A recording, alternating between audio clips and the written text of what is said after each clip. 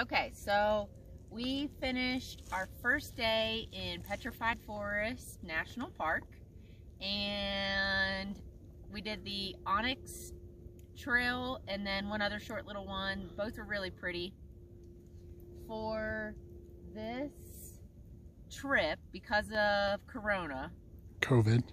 most everything is closed. So we are hip camping for most of this trip, which if you don't know, that means that people list their private property on the internet and you're able to come and camp on it.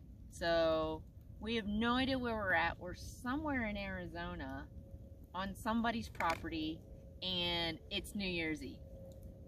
So I'm getting ready to pop the bubbly, do some happy hour with that and some Chex Mix.